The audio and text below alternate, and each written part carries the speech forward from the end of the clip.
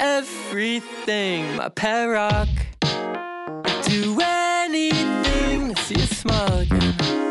And I don't know when it went wrong. I'm just glad we're still friends. It's okay, it's okay,